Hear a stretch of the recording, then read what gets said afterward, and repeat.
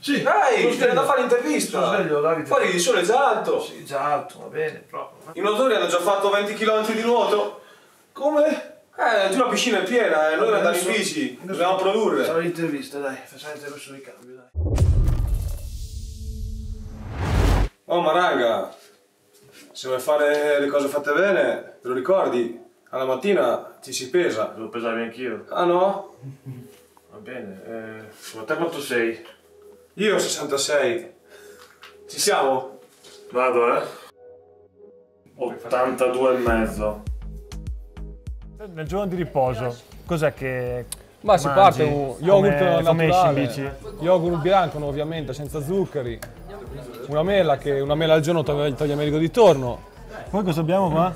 Ho dell'uvetta, della- invece di mettere lo zucchero mi piace mettere un po' di uvetta almeno. Sul Tainen. Sul Tainen, Sul Tanina. Banane? Banane, queste no, queste te l'ho appena rubate dal tuo vassoio Ah, perché ok. avevo provato a fare il furbo al buffet prima. Aspetta che l'allontaniamo. E E succo d'arancia prima, vitamina C pura, qua in altura Ok. è importante che non manchi mai. E latte di soia. Latte di soia sì, perché sai, quello normale, avendo lattosio e molti zuccheri, cercando di stare più proteici, il latte di soia ovviamente ti va a battere tutto questo apporto calorico. Quindi si lavora a basse frequenze. Nel giorno di riposo è importante limitare i carboidrati, formano gli alimentati decisamente. Non ci sono quasi, proprio guarda. No, ma sono noci, se guardi bene sono tre noci Ah, anche. ok, quindi frutta secca, proteine, Sì, ah, dai. capito, ok. Poche, eh? Poche. Poche.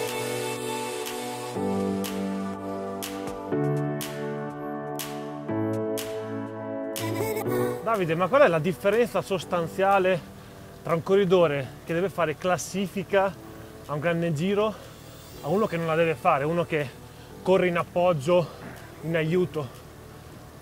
Ma penso che alla fine, sai, la differenza sostanziale è questo ritiro, anche questi ritiri in altura, perché sai, per noi è molto importante gli ultimi tre giorni avere ancora energia e per riuscire ad arrivare agli ultimi tre giorni più freschi possibili, appunto, siamo, po- siamo portati a soggiornare qua in altura per lunghi periodi. Quindi diciamo che un corridore che fa classifiche grandi giri fa in un anno molti più giorni di altura di un altro corridore. Sì, per noi, è, per noi è fondamentale appunto, da vedere dove sono ora tutti i competitors, chi è qua a Sierra, chi è sul Teide, chi va in, Sud- in Sudafrica, Chi va sull'Etna, chi va in Colombia, siamo tutti, siamo tutti lì, il calendario è quello. Nel corso degli anni da professionista ho incontrato tantissimi corridori, ho conosciuto tanti uomini da corsa a tappe. Io ho notato che in tanti c'era questa costante eh, ricerca nel fare sempre quel sacrificio in più che magari voleva dire mangiare i due maccheroni in meno, fare che i 5 addominali in più in palestra, con la ripetuta di forza in in allenamento. Però a un certo punto avevo l'impressione che lo facessero più per sentirsi più forti mentalmente che fisicamente. Cioè quando uno sa che ha fatto quel qualcosa in più magari di un altro, si sente più forte mentalmente. Può Ma sicuramente, sai, una grande corsa a tappe l'importante è non mollare mai di testa. Siamo tantissimi buoni corridori con dei valori assurdi, noi alla partenza. La differenza è così minima a livello fisico che la differenza maggiore a livello psicologico sicuramente. Mi ricordo al secondo giro d'Italia che ho fatto, mi ero preparato come allenato tantissimo sul Teide, in altura. in altura, con, con Uran. Rivo. Abbiamo, abbiamo fatto più di un mese insieme. E, è vero che io mi allenavo 5-6 ore al giorno, SFR 40-20, Rulli a digiuno magari. rulli a digiuno che Ale, eh, rulli a digiuno erano giornalieri. È vero che Rigo molto tranquillamente mi diceva, giovane, ma sei sicuro di quello che stai facendo? Guarda che il giro si siede gli ultimi due giorni. tu continuavi E io, no, no, mi devo allenare, mi devo allenare. Insomma, gli ultimi due giorni Rigo volava, io ero tra l'ammiraglia, ragazzi. Caput. Caput engine. Poi sono finito il giro, ho fatto 10 giorni di riposo e ho ricominciato a allenarmi come quello che faceva Rigo, con serenità, con naturalezza, Senza stress. senza cercare l'estremo che cercavo prima. Alla volta volavo. Hai fatto top 10. Prima volta ho fatto i primi 10 in un grande giro.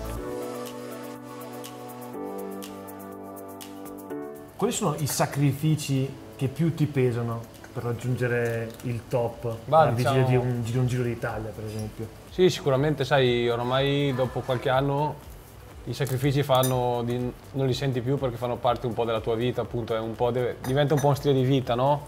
Siamo portati appunto a trascorrere molto tempo fuori da, fuori da casa, lontano dai nostri amici, perciò penso che sì, sicuramente un- una grande mancanza che abbiamo noi a livello sentimentale appunto dei nostri amici, della nostra famiglia, però Di tua moglie anche? Beh, sicuro. Poi però vi siamo fortunati che comunque, bene o male, ogni squadra, quando vai dopo un paio di anni che sei in una squadra, riesci a costruirti un gruppo di amici all'interno della squadra e lavori molto serenamente così.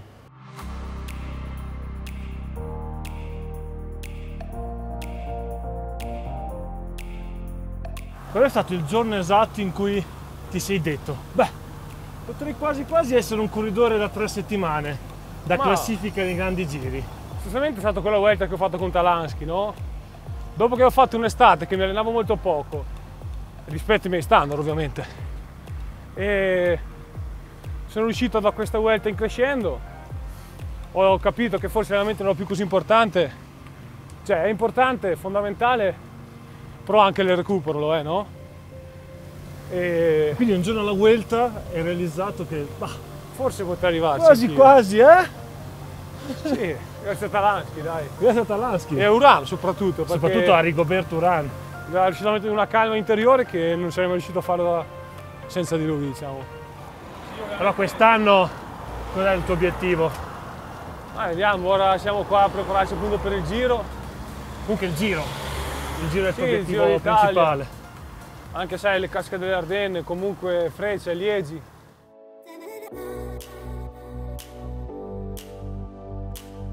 Qual è il lavoro specifico che tu fai, che preferisci per, eh, per andare in forma? Ho scoperto che alla fine quello che mi mancava di più erano i picchi, perciò a me piace molto fare i 40-20. E come sono le 40-20? Spiegalo. Beh, non è che mi piace, però diciamo che mi fanno bene. È quello più redditizio Sì, eh. Pare che sono 40 secondi col sangue alla gola, 40 secondi a tutta. a tutta e 20 secondi di recupero. Fermo Cioè, in mezzo alla strada. Se lo faccio io mi pianto là come Guarda che vede sul, pla- sul sacco plus. di patate. Questo fai per 10 minuti, 4 serie e se riesci a farlo Maranga ti stingo la mano, se no mi paghi una birra. Ah, e quindi dovremmo farlo adesso? Dai, te lo faccio anche vedere. Ma sei sicuro? Ma siamo in altura un po'. non dai, ti faccio vedere solo la partenza, ti faccio vedere una solo due, due colpi, dai.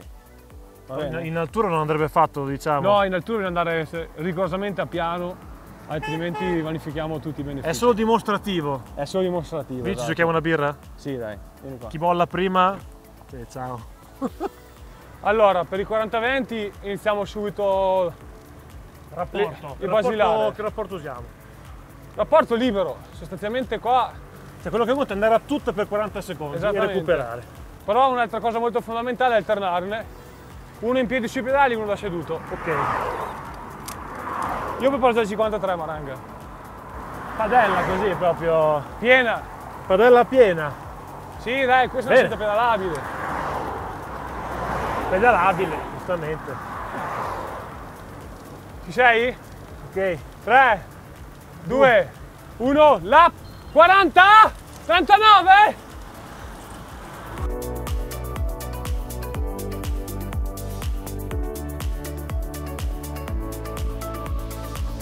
Quando eri ragazzino, cos'è che ti ha fatto scattare la molla per diventare un ciclista professionista di alto livello? Allora, io da ragazzino andavo in bici per rubare le, le pesche, ho iniziato ad andare in bici per, Per questo. rubare le pesche? Sì, andavo giù a Lo pescantina. scopo dell'allenamento era quello. era quello. Poi crescendo ho iniziato a vedere le prime volte Giro d'Italia in televisione e pensavo che i professionisti fossero extraterrestri, no? Sostanzialmente mia madre, essendo un asino a scuola, mi ha regalato il libro di Van Basso purché leggessi qualcosa. leggere. E, e lì Ivan nel suo libro parla molto di quando lui era ragazzino, dei suoi sentimenti e vedevo che lui esprimeva gli stessi sentimenti che esprimevo io. E da lì ho detto, ma vuoi vedere che un domani forse anch'io diventerò un professionista? E da lì mi è, mi è nato questo, mi si è acceso questa lampadina. Io voglio diventare professionista, io voglio fare il Giro d'Italia. Ho un'idea, un'alternativa. Eh. Per giocarci la birra di questa sera, facciamo che la paga chi arriva ultimo là. Là, è lontanino ancora, eh? Però eh, persa per persa facciamo l'ultima che arriva là, almeno vado sul mio passo. Eh Maranga, facciamo così, visto che l'ho accorciato, ti dare due minuti, In quanti chilometri? da qua sono 3 km 2. Io sento che i 16 kg che ho in più non saranno un ostacolo. Ci Good credo, luck, man. ci credo. Anche- Ready, steady, go! Ah, così di cattiveria proprio.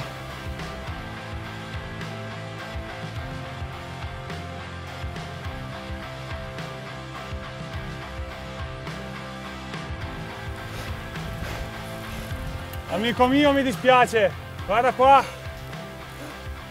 Prepara la carta di credito. Aveva detto tre minuti. Erano due, tre minuti era prima. Maledetto.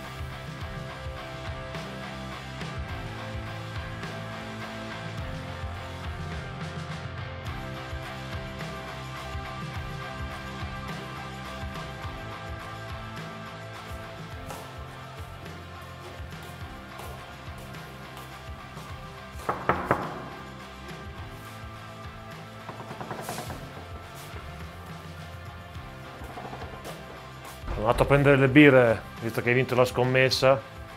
Hai visto? Fischio, bello, eh. Comunque non capisco ancora come hai fatto a battermi, eh. Eh, un segreto ce l'ho, dico la verità. Eh, qual è? Qualche settimana fa hai rigirato il video così per andare in salita. E Non io avevo credo. visto la tua maglietta non era ben aperta. Quindi mi hai, anche un po' sleale, dico la verità. mi hai battuto con le mie armi praticamente. Ma raga, non potrei.